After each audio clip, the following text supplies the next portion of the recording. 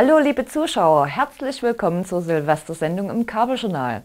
Wussten Sie eigentlich schon, dass selbst die Römer und die Germanen schon Silvester gefeiert haben?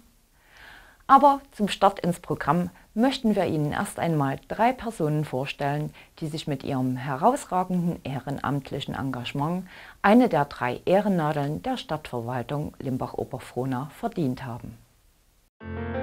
Pleißer, ein lebendiger Ortsteil von Limbach-Oberfrohna. Nicht denkbar ohne die Menschen, die sich hier ehrenamtlich engagieren. So wie Lutz Löbel. Im Heimatverein wirkt er mit und ist für die kulturellen Veranstaltungen, kulturelles Leben in Pleißer mit federführend, ganz wichtig. Und natürlich ist aber seine eigentliche Sporte der Fußball.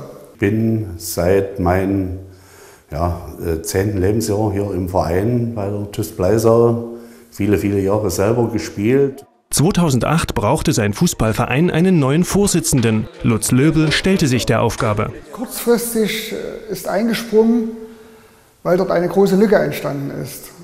Und man kann, denke ich, sagen, dass Lutz sein Leben immer mit Fußball verbunden hat. Und dass er das auch weiterhin so tut und auch sehr viel Kinder- und Jugendarbeit leistet. Und das sehe ich als besonders wichtig an. Die größte Herausforderung ist, den Verein oder einen Verein am Leben zu erhalten. Das heißt, äh, es ist natürlich in der heutigen Zeit äh, schwierig, äh, eine aktive Vereinsarbeit zu leisten. In unserem Männerbereich im Fußball sind wir ja gerade in dieser Saison sehr, sehr erfolgreich. Aber dort im Nachwuchsbereich ist es natürlich schwierig, ja, Mannschaften zu bilden, Mannschaften zu finden, Kinder zu finden und natürlich noch viel schwerer auch aktive und, und bereitwillige Trainer. Auch wenn es manchmal schwierig ist, fehlen nicht die Erfolge. Wir haben äh, zum Beispiel im Jahr 2012 ja unser äh, 100-jähriges Vereinsjubiläum gehabt. Wir haben ähm, die Sanierung unseres Rasenplatzes äh, gehabt. Das sind Erfolge unserer Gemeinschaft, unseres Vereines, unseres Vereins Bleisau. Lutz Löbel ist auch als Vorsitzender ein Teamplayer. Trotz seines wenigen, oder seiner wenigen Freizeit, die er hat, da er im Handel beschäftigt ist, versucht er immer zu helfen und sich mit einzubringen. Und das nicht nur in seinem Fußballverein. Das Dorffest kennt halt jeder hier ringsherum. Da ist er immer aktiv gewesen und das über viele, viele Jahre. Und auch die anderen Veranstaltungen. Menschen, die sich ehrenamtlich engagieren. Ja, spezifisch auch der Lutz, das ist ganz wichtig. Weil ansonsten gäbe es kein Dorfleben mehr, sonst wäre das alles sehr traurig, wenn es nur ums Geld ginge und wenn es nur um Materialismus ginge. Ob das jetzt äh, beim Heimatverein ist, ob das äh, zum Dorffest ist oder, oder sonstige Sachen. Also ja, ich kann äh, schlecht Nein sagen. Und gleich Feuer, komm, ja, gut. Die Wasserwacht Chemnitzer Umland im Einsatz bei einem Unfall in einem Freibad. Zum Glück nur eine Station bei der Kinder- und Jugendsachsenmeisterschaft der Wasserwacht. Die Wasserwacht ist im Prinzip ein Mitglied im DRK. Das heißt, auch die Wasserwacht arbeitet nach dem Motto Menschen helfen, Gesellschaft gestalten, ehrenamtlich als Rettungsschwimmer und Ersthelfer. Ihre Einsatzgebiete sind in Bädern, wie zum Beispiel hier im Limbomarkt. Sie ist in Freibädern an der Ostsee tätig, sie ist im Naturschutz tätig. Nicht zu vergessen die Einsätze bei Hochwasser. Um bei Notfällen schnell und richtig zu handeln, müssen die Mitglieder der Wasserwacht auf Draht sein. In Sachen Erste Hilfe und ebenso was die körperliche Fitness anbelangt. Das heißt intensives Training, auch bei der Wasserwacht Chemnitzer Umland. Wir sind zurzeit 212 Mitglieder, davon 56 Kinder und der Rest sind Erwachsene und Jugendliche. Also eine riesengroße Truppe, die wirklich unter einem Hut sind und das sind alles aktive Mitglieder. Michael Dietrich ist seit 2003 der Vorsitzende. Er legt sehr viel Wert auf familiäres im Verein, dass jeder mit jedem auch wirklich gut kann. Er konzentriert sich nicht bloß auf die Erwachsenen, sondern kümmert sich auch mit um die Kinder. Hat in den letzten zehn Jahren auch sehr viel dafür geleistet, dass auch die Kindergruppe stetig angewachsen ist. Nicht nur das Klima, sondern auch die Trainings- und Ausbildungsarbeit ist bestens. Das Resultat? Auf Wettkampfebene belegen wir immer vordere Plätze mit den Kindern. Mit der kleinen Mannschaft von den Kindern waren wir dieses Jahr sogar beim Bundeswettbewerb. Das heißt also, wir sind weit mit vorne dran auf Wettkampfebene. Und ansonsten äh, können wir uns durchaus auch in Mitgliederzahlen und allem anderen im, mit anderen Vereinen messen wenn man von Messen überhaupt reden kann. Wir haben eigentlich eher ein freundschaftliches Verhältnis zu vielen Vereinen und das passt alles perfekt. Der Motor für den Erfolg ist ohne Zweifel Michael Dietrich. Ihn für seine Verdienste besonders zu würdigen, eine Herzensangelegenheit für seine Kameraden. Weil er schon seit vielen, vielen Jahren bei uns im Verein tätig ist, sehr engagiert tätig ist, seit über zehn Jahren auch als Chef, vorher als Stellvertreter, als Trainer und einfach ohne ihn das bei uns nicht laufen würde. Seit 1979 ist Michael Dietrich dabei. Ich bin vom Schwimmen damals gekommen und äh, habe mir was Neues gesucht, das durch den Beruf nicht mehr zum Schwimmen kam. Und äh, ja, und bin dann bei der Wasserwacht gelandet, hat mir sehr viel Spaß gemacht, weil bei der Wasserwacht damals noch Wasserrettungsdienst ähm, viel trainiert wurde vom Schwimmen her und natürlich auch das DRK mit im, im Mittelpunkt stand, also das Helfen am Menschen. Die Wasserwacht ist für ihn, wenn auch ehrenamtlich, eine Berufung. Er wünscht sich schwimmerische Erfolge, die wir äh, mit dem Verein auch leisten können. Große Erfolge beim Helfen und äh, auf alle Fälle, dass keiner wegschaut. Erste Hilfe. Dieses Bild haben die Kinder und Jugendlichen vom Schwimm- und Tauchsportverein Limbach-Oberfrohna schon seit sehr vielen Jahren vor Augen. Frauke Günther am Beckenrand. Ich bin Trainer von Freizeit- und Leistungsgruppen oder Wettkampfgruppen und einer Integrationsgruppe. Eine ehrenamtliche Tätigkeit im mitgliederstärksten Verein der Stadt. Wir im Verein sind ja über 600 Mitglieder, ca. 650 davon sind über 300 Kinder und Jugendliche. Das heißt, wir brauchen sehr viele Freiwillige, die im Ehrenamt arbeiten. Frauke Günther zum Beispiel, die seit 1. Dezember 2000 Mitglied beim STV Limbach-Oberfrohna ist. Und bin der Meinung, dass man die Erfahrungen, die man selber in der Jugend erfahren hat, weitergeben soll. Ich bin als Kind in einer Betriebssportgemeinschaft in Leipzig geschwommen und habe die äh, ehrenamtliche Tätigkeit von Trainern genossen und möchte das im Prinzip jetzt in meinem Alter an die Kinder und Jugendlichen unseres Vereines weitergeben. Zu den Traineraufgaben gehören Trainingsvorbereitung und Wettkampfbetreuung. Frauke Günther ist aber nicht nur Trainer. Ich arbeite als Kampfrichter, als Rettungsschwimmer, Sie hat zudem ehrenamtliche Funktionen beim Kreissportbund und beim Bezirksschwimmverband Südwestsachsen. Seit 2014 ist sie Vizepräsidentin beim STV. Eine Menge Freizeit, die sie opfert, pflichtbewusst. Ich bin der Meinung, dass in einem Verein von über 600 Mitgliedern eine ehrenamtliche Tätigkeit notwendig ist. Wir haben sehr viele junge Leute, die ehrenamtlich arbeiten und ohne diese wäre dieser Verein mit über 600 Mitgliedern nicht lebensfähig. Der Lohn ist für Sie, wenn man äh, an Wettkämpfen teilnimmt, wo die eigenen Kinder von der Wettkampfgruppe teilnehmen und Erfolge mitbringen, wenn man zum Beispiel in der Integrativgruppe unseren Asylanten das Schwimmen lernen kann und die dann die 25 Meter bewältigen es wäre eine Riesenlücke bei uns im Verein, wenn unsere Frauke nicht mehr da wäre. Wer so viel Zeit hier in diesen Verein einbringt, als Trainer für zwei Trainingsgruppen, zweimal die Woche dazustehen, am Wochenende noch für Wettkämpfe Zeit auf sich nimmt, als Wettkampfrichter, Schiedsrichter und dann noch selber bei Weltmeisterschaften mitschwimmt, der verdient eigentlich schon mal als Ehrenamt eine Ehrennadel zu bekommen. Ihren Verein vertritt sie ebenso erfolgreich bei deutschen Meisterschaften. Frauke Günthers größte Wünsche? Ich möchte gesund bleiben und möchte irgendwann mal als Weltmeister auf dem Treppchen stehen.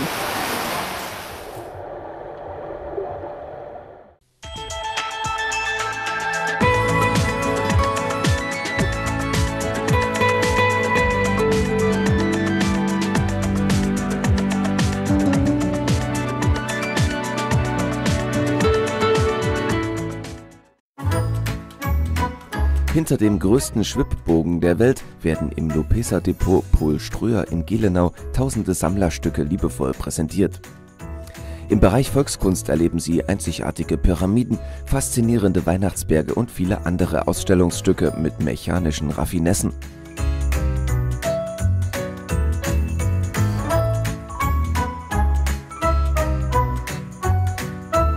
In der Spielzeugausstellung haben Puppen und Bären in historischen Kinderfahrzeugen Platz genommen und ziehen ihre Runden vorbei am Puppenfriseur, an der Puppenklinik und an Szenen mit historischen Berufen der Spielzeugherstellung. Zum gemütlichen Verweilen lädt das Café im Spielzeugdorf ein. Die Weihnachtsschau ist vom 1. Dezember bis 28. Januar an den Wochenenden Freitag bis Sonntag von 10 bis 18 Uhr geöffnet. Weitere Informationen gibt's unter lupesa.de.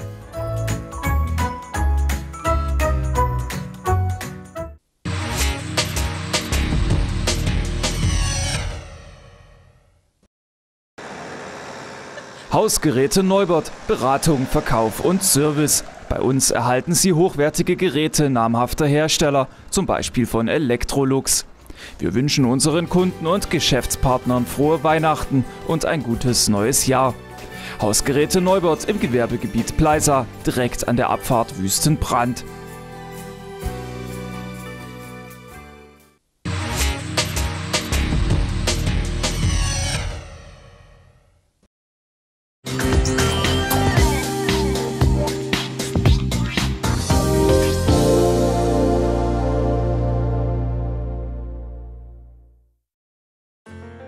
Sie suchen eine Wohnung in einer Kleinstadt mit viel Grün, Ruhe und Gemütlichkeit, die zudem verkehrsgünstig gelegen ist, direkt auf der Achse zwischen Chemnitz und Zwickau? Wir bieten Ihnen gut sanierte Wohnungen zu stabilen und reellen Preisen. Grundhaft saniert und modernisiert wurden zum Beispiel die Wohnungen in diesen Häusern auf der Schulstraße. Die fünf Etagen sind bequem mit dem Fahrstuhl zu erreichen. Bei der Modernisierung achteten wir darauf, so viel wie möglich Barrieren zu beseitigen. Barrierearm ist diese Dreiraumwohnung im Erdgeschoss der Schulstraße 15i. Der Boden wurde ausgeglichen und neue Türen eingebaut. Rundum erneuert wurde die Elektrik. Die Wohnung besticht durch ihre große Küche. Groß ist genauso das Bad. Es gibt sowohl Badewanne als auch Dusche. Ein Balkon ist ebenfalls vorhanden. Es nützt die schönste Wohnung nichts, wenn das Umfeld nicht stimmt. Das Haus ist ruhig und grün, nahe am Rümpfwald gelegen, aber nicht abgelegen. Schnell erreichen Sie die A4 oder die Bundesstraße 173. In der Nähe befinden sich ein großer Spielplatz, verschiedene Freizeiteinrichtungen sowie Einkaufsmöglichkeiten. Fünf Minuten braucht man zu Fuß zur Heinrich von Kleist Oberschule und nur eine Viertelstunde bis zum Max-Schneider-Gymnasium oder zum Berufsschulzentrum. Wenn auch Sie sich interessieren für eine Wohnung in der Wohnungsgenossenschaft Liechtenstein, dann bitte melden Sie sich. Hätten Einraum- bis Vierraumwohnungen im gut modernisierten Zustand. Unsere Ansprechpartnerin Frau Pohl berät Sie gern. Wohnungsgenossenschaft Liechtenstein. Gut wohnen im Grünen.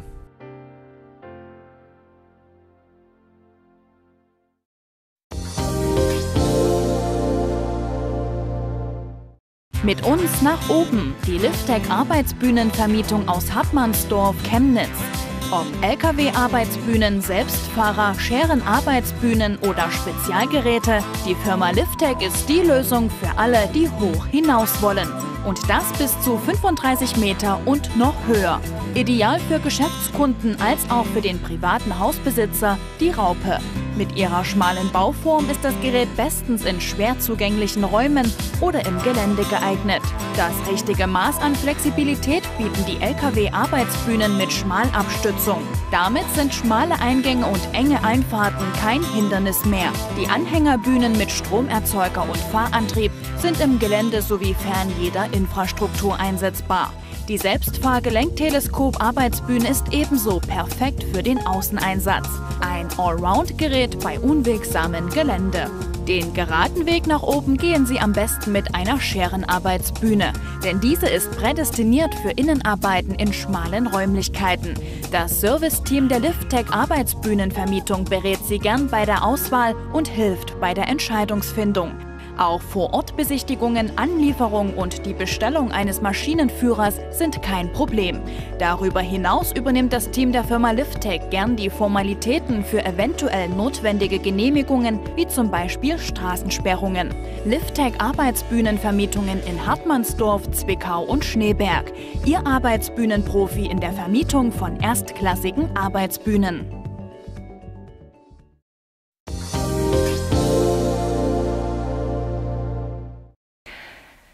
Der Name Silvester hat übrigens zwei Ursprünge. Zum einen bedeutet es auf Altgermanisch Waldmensch und zum zweiten ist es der Todestag von Papst Silvester im Jahre 335 nach Christus. Wir möchten Sie jetzt allerdings noch ein wenig in Feierstimmung bringen mit dem Rachermannelied von Erzgebelli.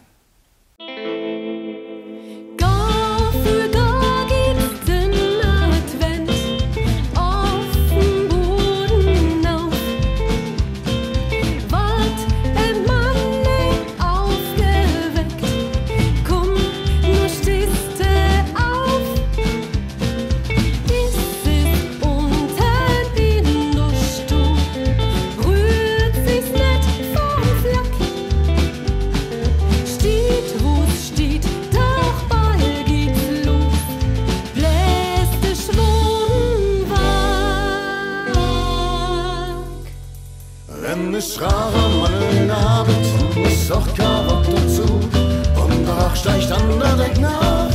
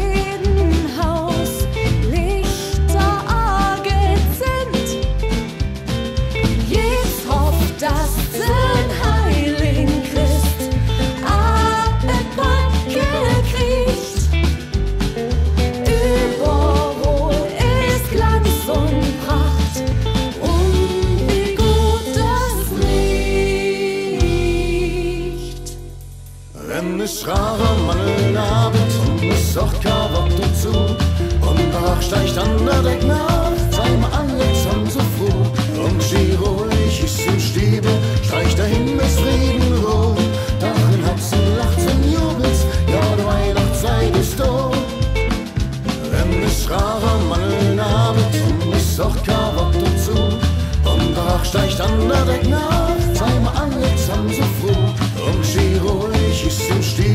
Stiebel streicht der Himmelsfrieden roh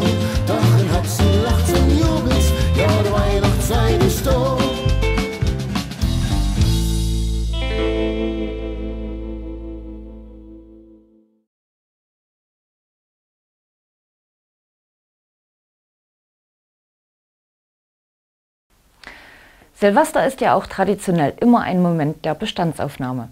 Deswegen haben wir uns in unserem Archiv einmal umgeschaut, welche Promis wir so in den letzten Jahren vor der Linse hatten. Beginnen wir mit Angelo Kelly, der war mit seiner Familie 2014 in Flöa zu Gast.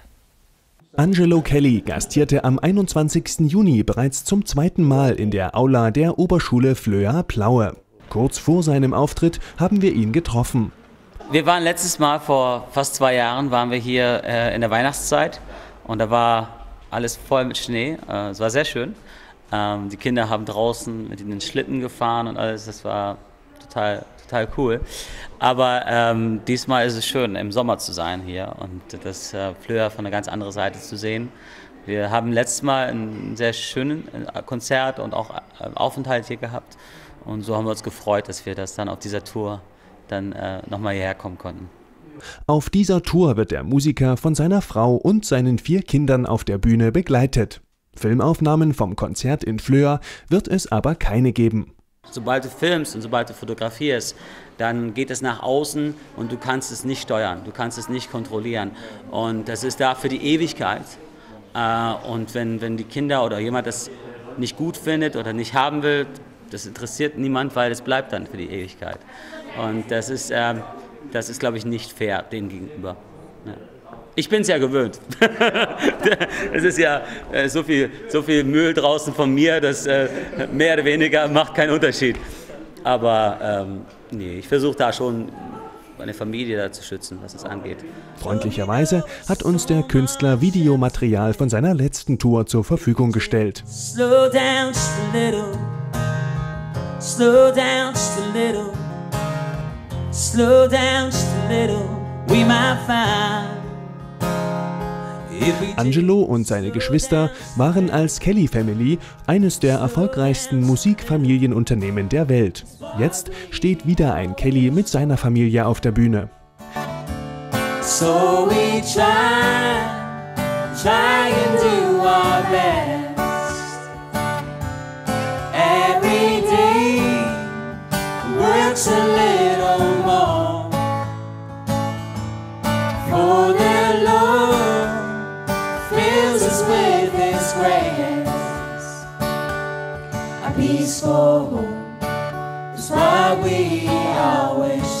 Ich sage nicht gerne neue Kelly Family. Ähm, für mich ist es eher, ich habe viele Jahre als Solokünstler erstmal gearbeitet, nach der Zeit mit meinen Geschwistern. Und in den letzten zwei, drei Jahren sind die Kinder in ein Alter gekommen, wo die sich mehr und mehr für Musik interessieren, wo die auch was spielen, Instrumente, singen. Und ich wollte denen einfach mehr und mehr die Möglichkeit geben, die Plattform geben, dass die auch mitmachen können. Und auf eine Tour vor zweieinhalb Jahren ungefähr haben die erst nur ein paar Lieder mitgemacht. Dann äh, Tour später haben die dann schon die Hälfte mitgemacht. Und so wurde es immer mehr.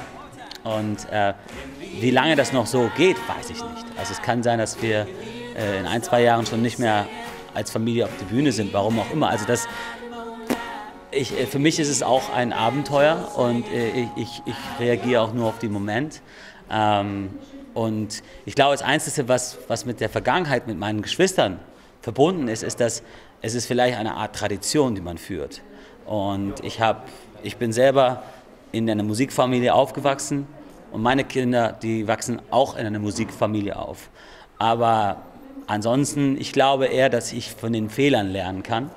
Also, dass ich nicht zum Beispiel mit meinen Kindern äh, jede TV-Show mache und überall jede Pressesache mache, sondern das mache ich überwiegend alleine und wir machen Konzerte zusammen. Aber auch das sind keine großen Konzerthallen.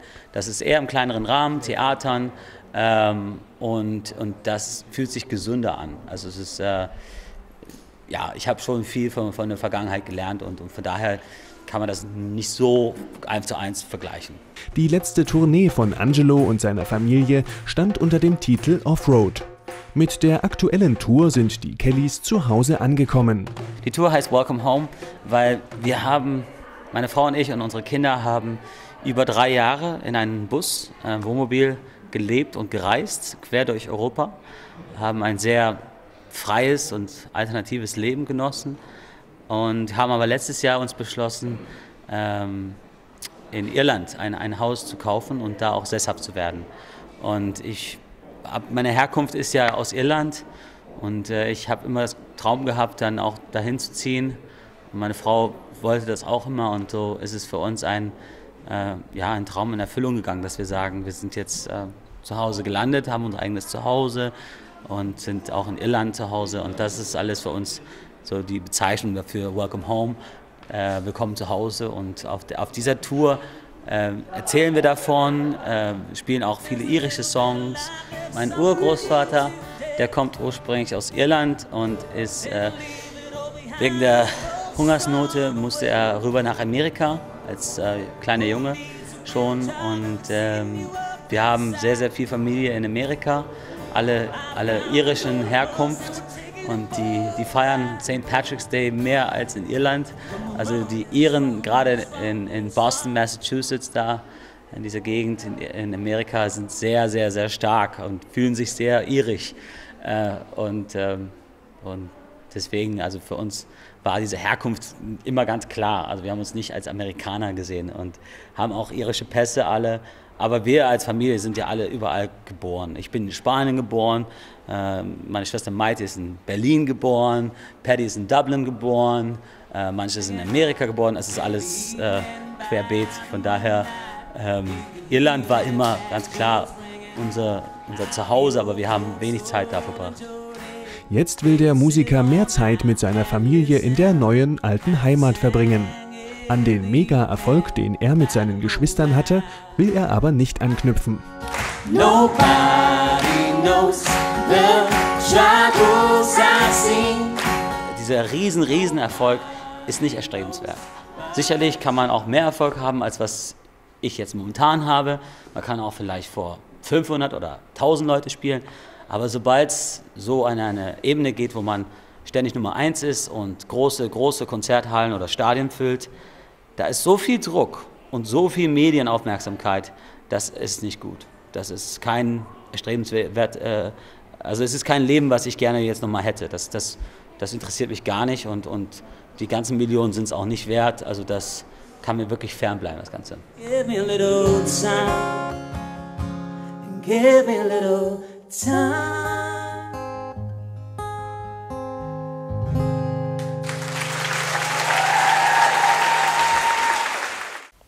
Ja, und nun begeben wir uns mit Ihnen in andere Sphären mit einem Interview mit Erich van Deniken, einem der meistgelesenen Sachbuchautoren der Welt. Hallo und herzlich willkommen, liebe Zuschauer. Heute begrüße ich Sie aus Frankenberg, genauer gesagt vom Stadtpark. Und ich muss gestehen, heute bin ich ein bisschen aufgeregt.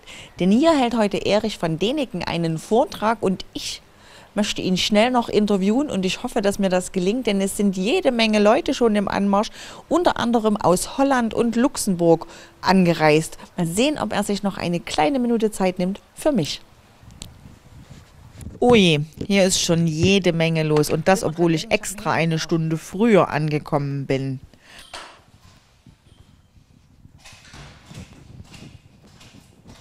Hoffentlich hat der meistgelesene Sachbuchautor der Welt denn noch eine kleine Minute Zeit für mich. Aber momentan habe ich da wenig Hoffnung. Deshalb stürze ich mich jetzt ins Getümmel und frage mal, von wo die Leute denn überall angereist kommen. Wir sind heute um 4 Uhr morgens losgefahren. Äh, um 12 Uhr waren wir heute hier in Chemnitz, äh, beziehungsweise in Frankenberg. Ja. Jetzt bin ich mit meiner Frau hier und schauen uns diesen Vortrag mal an. Oh, leider kommt der Herr Deniken nicht näher in der Nähe äh, von Holland als hier in Frankenberg. Und da muss man sich halt ein bisschen Mühe machen, um dann zehn, mehr als zehn Stunden im, im Zug zu sitzen, um heute Abend äh, den Vortrag anzusehen. Um was geht's? Herr von Denningen, als erstes, um was geht es heute in Ihrem Vortrag hier? Zum ersten Mal auch um UFOs. Ich war Jahrzehnte ein schrecklicher Skeptiker der UFO-Szene. Jetzt hat die amerikanische Regierung und auch die Franzosen und die Engländer ihre UFO-Akten freigegeben. Und ich habe kiloweise Akten auf dem Tisch mit dem Stempel Top Secret und dann das nächste For Eyes Only, also nur zu sehen. Und da stehen einem die Haare zu Berge. Das heißt, Sie wären nicht dauernd angelogen worden die vergangenen Jahre. Und darüber zeige ich ein paar Beispiele le- mit lebendigen Bildern. Die Ruinanlage Teotihuacan. Teotihuacan, ja. Genau, da wurde ein Tunnel entdeckt. Wäre das was für Sie, für ein nächstes Natürlich. Buch vielleicht? Darüber habe ich schon oft geschrieben. Schau, Teotihuacan ist die riesige Anlage in Mexiko, so 40 Kilometer von Mexico City entfernt. Als die Spanier vor 400 Jahren kamen, war das alles schon überwuchert, das war schon Ruinen. Und auch die Azteken fanden es nur in Ruinen. Der spanische Mönch Bernardino de Sahagún hat damals einen Eingeborenen gefragt, was ist das? Und der sagte Teotihuacan. Und der Spanier fragte, was bedeutet das Wort? Was heißt das? Und er sagte, das ist der Ort, an dem die Götter begraben liegen. Jetzt findet man viele Jahrtausende später unterirdische Tunnels mit vielen Gräbern, mit Hunderten von Gräbern, weil alle in der Nähe ihres Gottes begraben was sein sollen. Und im Moment ist der Grabungsstand so, man steht vor zwei Granittüren, die hat man noch nicht aufgemacht. So, ich würde mich nicht wundern, wenn dahinter irgendwas Komisches zum Vorschein kommt. Vielleicht irgendwelche Priester mit äh, verlängerten äh, Köpfen, das gibt es alles in, in der Archäologie. Oder vielleicht sogar Außerirdische, kann man nicht ausschließen. Dankeschön.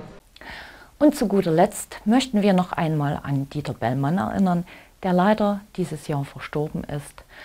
Der Schauspieler war allerdings 2016 zu Gast in Frankenberg und viele kennen ihn aus der ARD-Vorabendserie In aller Freundschaft. Prominenter Besuch auf der Bühne des Frankenberger Welttheaters. Dieter Bellmann hat am 22. November im Alten Kino sein Buch Unterwegs in Sachsen vorgestellt. Begleitet wurde er von seiner Co-Autorin, der Fernsehjournalistin Liane Steinbrecher.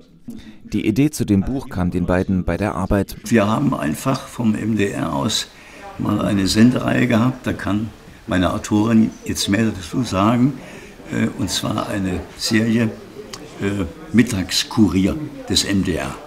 Und das ist die Autorin und das, was wir da erlebt haben, hat sie aufgeschrieben, mit mir zusammen, wenn man so will. Und äh, dieses Buch liegt jetzt vor. Peter Bellmann sagte ja schon, wir waren also zehn Jahre lang unterwegs in Mitteldeutschland, Sachsen, Sachsen-Anhalt und Thüringen und haben da äh, sehr, sehr viel kleine Orte äh, kennengelernt und deren Geschichte und haben ganz interessante Leute äh, getroffen. Und nachdem die Serie dann beendet wurde im vergangenen Jahr, haben Dieter Bellmann und ich uns entschlossen, über die schönsten Geschichten ein Buch zu schreiben. Und das liegt jetzt vor. Wir sind jetzt dabei, äh, auf Lesereise zu gehen und freuen uns, dass wir hier in Frankenberg so freundlich empfangen wurden. Rund 40 Besucher waren zur Lesung mit Dieter Bellmann gekommen. Bekannt ist der Schauspieler vor allem aus der ARD-Fernsehserie In aller Freundschaft. Seit 1998 verkörperte er dort den Chef der Sachsenklinik, Professor Simoni. Simoni ist jetzt nicht mehr Chef der Sachsenklinik, sondern im Moment Berater, sozusagen freundschaftlicher Berater durch seine Erfahrung, seine Güte etc. Das wird noch weitergehen. Nicht weitergehen wird es mit der Buchhandlung Blana in Frankenberg. Die hatte zu dieser Buchvorstellung ins Welttheater eingeladen. Inhaberin Christina Bohlen nutzte die Lesung, sich bei ihren Kunden zu verabschieden. Lange hatte die Buchhändlerin nach einem Nachfolger gesucht, leider ohne Erfolg.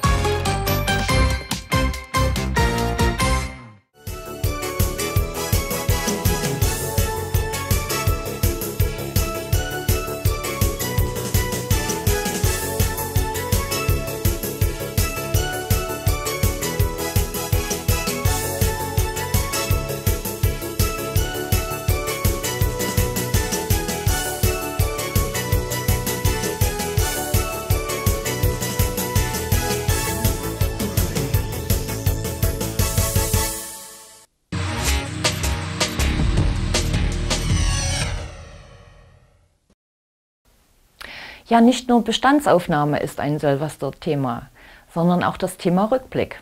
Und darüber hat sich auch unsere Sachsenmeier Gedanken gemacht. Ah, ja. Ja. Ach, hallo. Ja, alle machen sie Jahresrückblicke. Das Jahr, hä, es wird doch wie im Hui ist es vorbeigesaust, das Jahr. Was war denn eigentlich, wenn ich jetzt mal so rückblick, was war denn eigentlich? Sagen Sie mal hier, der, ich kann mich gar nicht mehr erinnern, ja, der Trump zum Beispiel, der Donald Trump, das trampelt in den USA, naja. Wann ist denn der eigentlich? Das war ganz am Anfang von dem Jahr, ne?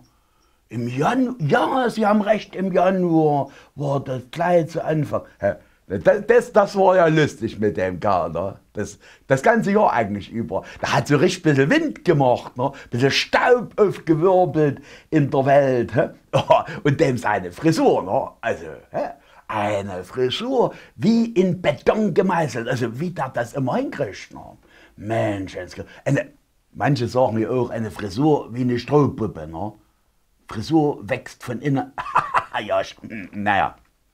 Und in, in Nordkorea hier, der, wie heißt er gleich, Kim, Kim Jong, Kim Jong und oder so ähnlich. Na, der macht dem Trump nu mit der Frisur Konkurrenz. Hast du schon gemerkt? Ja, der, der Kim Jong-un, der hat ja eine Frisur, ne? Also man könnte sagen, das ist wie eine Moorpackung gegen Schweißfüße, ne? Er auf dem Kopf. Hoffentlich kriegen die zwei sich nicht wirklich noch in die Haare. Äh, die beiden, naja. Aber manche, manche sagen ja auch, der Trump, also der Trump, Entschuldigung, äh, der Trump, Trump geschrieben, ne? also der Trump, der Donald, der wäre wie eine Hummel. Ja, wie eine Hummel. Wissen Sie, weil eine Hummel aus wissenschaftlich erwiesenen aerodynamischen Gründen kann eine Hummel eigentlich nicht fliegen. Aber sie fliegt. Und der Donald Trump kann ei- eigentlich wissenschaftlich erwiesen aus neurobiologischen Gründen nicht regieren. Aber er regiert. Ja. Manche Ärzte sagen ja sogar, ein Gehirnschlag wäre bei Donald Trump ein Schlag ins Leere. ja, naja, der Donald Trump. Was war denn denn noch so? Ach, meine Enkelin, die Luisa, ist in die Schule gekommen. Ach, niedlich, aber mit der Zuckertete, schön. Ne? Ich und der Elfriede, wir waren im Urlaub in Italien. Ja, wir waren in Italien bis Neapel, nur noch bis. Ja, wir waren auch. Pompeii waren wir auch, ja. Hier die, die Stadt, die, ja, wo der Vesuv, ne, und so, wo der alte Goethe war, genau. Der alte Goethe war auch in Neapel. Der alte Goethe hat ja gesagt, Neapel sehen und dann sterben. Bei uns war es anders. Wir haben eher Neapel sterben gesehen. Nee, es war nicht schön. In, nee, hat- war sehr enttäuscht. Sizilien war schöner. Ne, alles ordentlich, alles gepflegt, die Städte, die Dörfer. Die Mafia hat das dort unten im Griff wahrscheinlich. Ne. Äh, Neapel war nicht. Da muss ich, äh, war ich enttäuscht. Ne. Was war denn noch so? Ach, wir hatten ja selber in Deutschland eine Wahl. ja, ja. Wir hatten, wen haben Sie denn nicht gewählt? Hä? AfD, hä? Ach, Sie brauchen es gar nicht sagen. Ich weiß es doch. Jeder Dritte hat in Sachsen AfD gewählt. Also, eins, zwei, drei, Sie. Eins, zwei, drei, Sie. ich? Nö, nee, nö, ähm.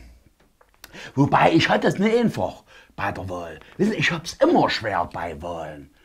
Ja, Ich weiß immer nie richtig, wen ich. Meine Gutste, die hat zu mir gesagt: Mein Gott, mach dir nicht so einen Kopf, wähl die, die deine Interessen vertreten. Hm. Ja, was sind meine Interessen? Ne? Also, meine Interessen sind Fußball, Weiber und Skat. Und das kann ich ja meiner Elfriede nicht verraten. Ich meine, Fußball und Skat geht ja noch, ne, aber nee. Nee, da hatte ich wirklich. äh, Die größte Übereinstimmung vor Jahr und Tag hatte ich mal mit dem Gerhard Schröder. Oh, Fußball, Skat. Also, naja. Nee, da habe ich es immer ein bisschen schwer. Aber ansonsten bin ich auch ein Fan von der Wahl. Ach, nee, das ist schon schön, wenn man da so hingehen kann in, an die Urne ne? und mit seiner, mit, ja, mit der ersten und mit der zweiten Stimme. Ne? Und daheim habe ich ja gar keine Stimme. Nee, aber bei der Wahl, ja, bei der Wahl habe ich, und wenn ich dann meine Kreuzeln mache, wenn ich meine Kreuzeln mache, da überlege ich mir dann immer, wie sich alle die ärgern, wo ich kein Kreuz mache. die müssen sich doch vor Wut den Arsch beißen, weil sie von mir kein Kreuz kriegen. Ach, nee, das ist ein schönes Gefühl, wenn ich denke, dass die sich mal ärgern. Ja. Ach, das ist. Nee, wenn ich da so meine Kreuze mache, da habe ich wirklich das Gefühl, welche Macht ich als kleine Niete in dem Staat habe. Die Macht der zwei Kreuze. Ja, naja, nee, das war schon schön mit Wahl. Nun haben wir aber bis jetzt noch keine Regierung. Obwohl wir gewählt haben. Ne? Ja, Das ist, ja, hm, das wird spannender. Wobei, unsere Angela bleibt uns erhalten. Da bin ich sicher. Die bleibt, ja. Ja, mit wem nu? Ja, Gott, herrje, es ist eigentlich pfeifegal. Ne? Äh, unsere, unsere Angela zieht das Ding durch. Ne? Das, Na, und, also, manchmal tut sie mir ja auch leid, wie sie sich in der Welt mit den ganzen Machos rumärgern muss. Ne? Ja, Machos. Männer mit Matsch in der Rübe. Ja. nee, da hat, sie, da hat sie wirklich viel zu tun. Aber auch hier in Deutschland sind ja genug Hohlkörper. Ja. Nee, ähm, was mich freut für die Angela, ne, in Frankreich der neue, ne, der Emmanuel Macron, das ist ja, ne, der unterstützt unsere Angela. Die zwei, ne, das wird schade, dass der Angela eben schon ein bisschen alt ist. Ne. Obwohl, dem Macron, seine Frau ist ja 25 Jahre älter. Also da hätte vielleicht der Angela sogar noch in Frage kommen. 25 Jahre älter, ja, der Macron, dem seine Frau. Das war mal dem seine Lehrerin. Ja, muss man sich mal überlegen. Ne? Bumst der seine Lehrerin und die macht den zum Präsidenten. Ich habe nicht gesagt. Ja, nee, aber ansonsten, äh, ja, das hast du oft in der Weltgeschichte gehabt. Hinter einem starken Mann stand oft eine kluge Frau. Ja, hinter mir steht ja auch der Elfriede. ja.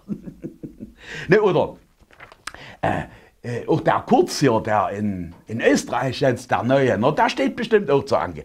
Wo hab ich das jetzt gehört? Die in Frankreich haben mit dem Macron eine Rakete. Die Ösis haben mit dem Kurz, mit dem neuen Kanzler, haben die ein Rennpferd. Wir haben einen Rollator. Hm.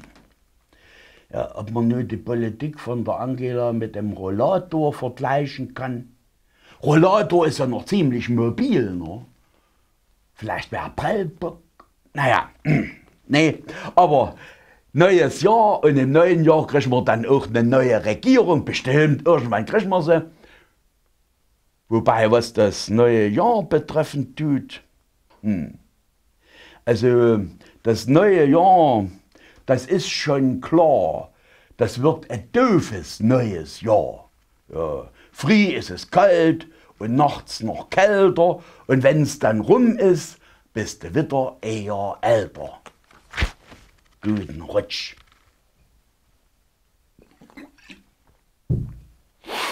Ja, und weiter im Programm geht es nun mit dem Silvesterklassiker schlechthin. Ich wünsche köstliche Unterhaltung mit Dinner for One.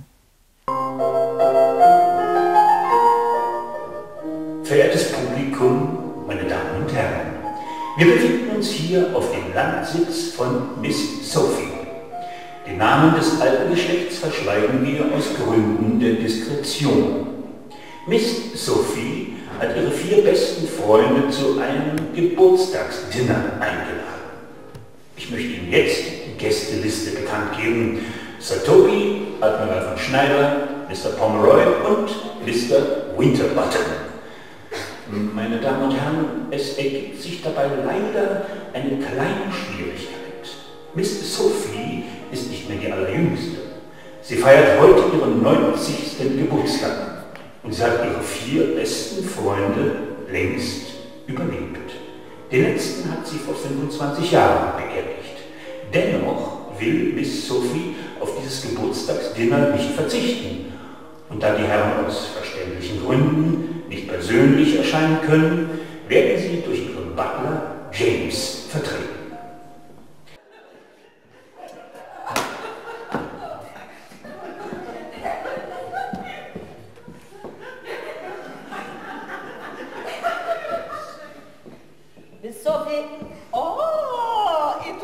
very fine girl.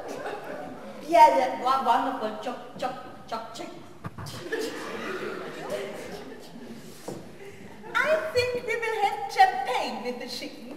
must mich bländiger.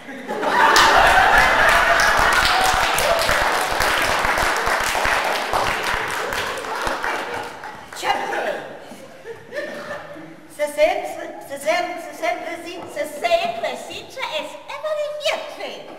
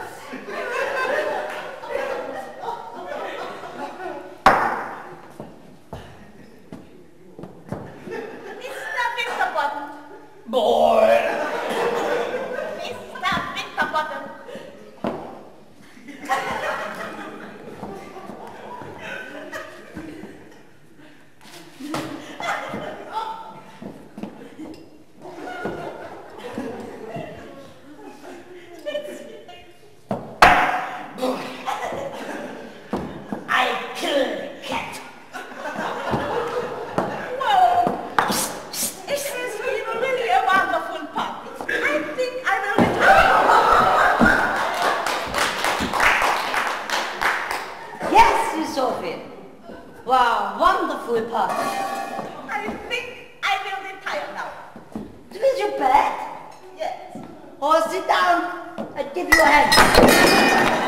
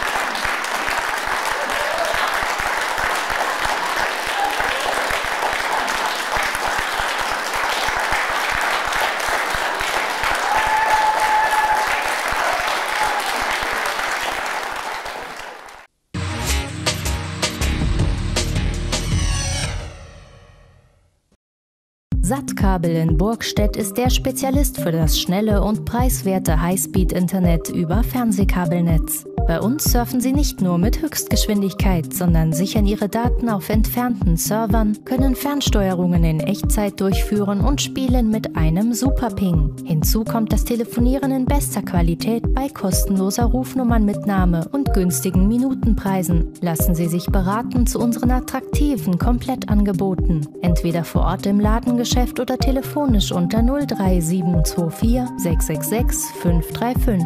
Besuchen Sie unsere Website sat-kabel-online.de.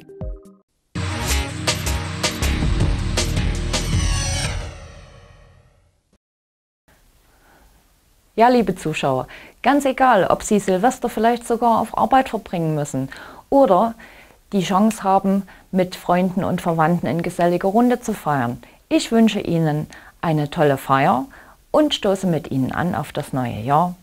Wir sagen Tschüss für diese Woche. Machen Sie es gut und guten Rutsch.